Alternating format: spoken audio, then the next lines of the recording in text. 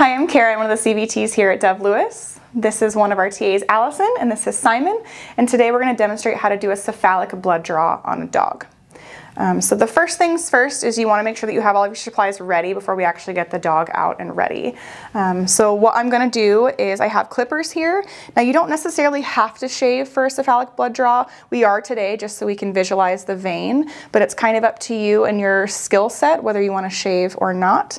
Um, we have our blood tubes ready for whatever we whatever test we need. Um, we have our syringe prepped and ready. Um, you want to make sure that you're choosing an appropriately sized syringe for the dog, as well as for the sample that you'll need. So if you need a lot of blood, you may want to actually opt for a butterfly.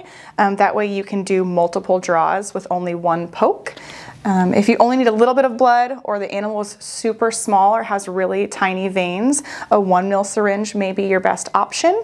But I'm gonna use a three mil today for Simon. He's a nice young healthy dog. He's got sizable veins and I'm gonna fill two blood tubes. So that seems appropriate. If you do pick a syringe that's too large for the vein, you do risk collapsing the vein and not getting a solid blood draw.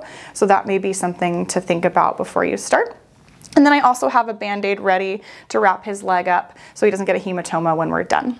So I have all of my supplies and now I'm gonna grab my patient and my restrainer. So this is also really important that we're having proper restraint before we're doing a cephalic blood draw. Um, my success is basically based off of how comfortable the restraint is. So I'm going to be talking with my assistant um, to make sure that we're nice and secure. I'm going to be checking in before I poke to make sure that she feels secure. Um, if at any point that she feels like she doesn't have him or needs to readjust, we should be communicating that because I would hate to poke him and either he turn to bite me because she, he was not restrained properly or he jerk his leg back and then I lose my blood draw. So we're gonna make sure that we have nice, safe restraint for everyone involved. Um, that involves one, uh, her being able to actually get her hand behind his elbow and extend his leg out. That way, if he goes to pull back, she's got control of him. And then I'm gonna actually use my hand, which you'll see later when I actually draw to steady it for myself. She's got her body on his body, so he can't stand up or try to back away from me at any point. And then she's got a nice hold of his head. Um, that way, if he goes to to get me if he feels a little insecure or if that was a little pokey, I'm nice and safe and I'm, I won't get bit. If you have an overly fractious or nervous animal, feel free to use a muzzle or an e-collar just for some extra protection. Um, or sometimes if they're really fractious or nervous, some sedation might be necessary too. Um, but Simon's a nice good boy. Um, how are you feeling with restraint? Good. Great. So we're gonna go ahead and get started. Um, the cephalic vein is a really easy vein to hit for blood draws. Now coming from an ER, we typically try to avoid these just for blood or medications because if he were to need a catheter later, these are my first go-tos. So we usually try to do a hind leg first, but this is a cephalic demonstration. Um, so like I said, it runs straight down this middle of his leg. You can actually see it. He's got really decent veins. Um, it can be harder on our squatty friends, so our dachshunds, our corgis, our Frenchies. They have these sort of L-shaped legs, so their anatomy is a little different. Sometimes that vein snakes around. Um, they also just tend to not have a lot of real estate. Um, so sometimes I feel like I'm poking and I'm basically poking my TA's finger because we're right there. Um, so she might actually be occluding where I'm trying to draw, so you may need to adjust restraint. All right, we're good. I'm gonna go ahead and shave real quick. I'm just, I don't need to shave all the way around like I would for a catheter. I'm just gonna shave a little line right on top so I can visualize his vein better. You can actually run your finger along here and feel where it's starting to bubble up because she's occluding, so I have a good surface of where I'm gonna go. So Allison's nice and steady. I'm gonna steady his leg, um, holding.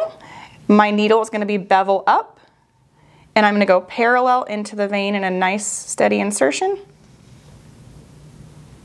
Pull back, and I'm pulling back nice and slow. If I pull back too fast and too hard, I could actually collapse the vein and not get a lot of the blood that I need. If I notice that I'm having a difficult time, I can actually pump his foot as well, and that will kind of help me get a little bit more blood out.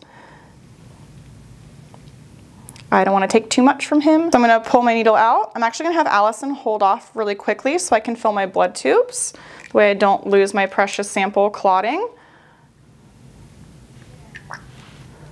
And then I'm going to get a band-aid on him so he doesn't get a hematoma.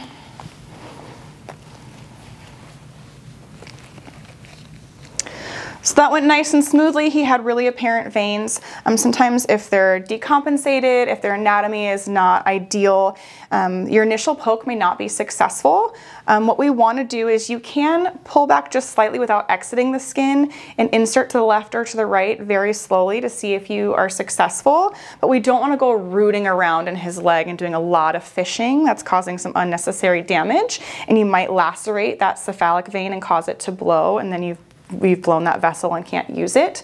If you do a couple readjustments and you're not successful, go ahead and remove that syringe and needle and just repoke again.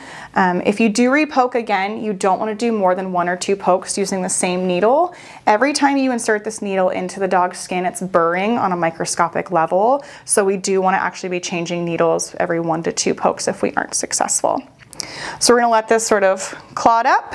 Um, Simon's a good boy and I know he won't mess with this, but you do wanna be cautious of when we have um, known foreign body ingestors or um, ingesters or puppies that we're not leaving band-aids on, we're placing them back into the kennels because we've had some patients try to ingest them. So just be cautious of that. Um, but in just a few moments, that'll be safe to remove. Um, and that was how to do a dog cephalic blood draw.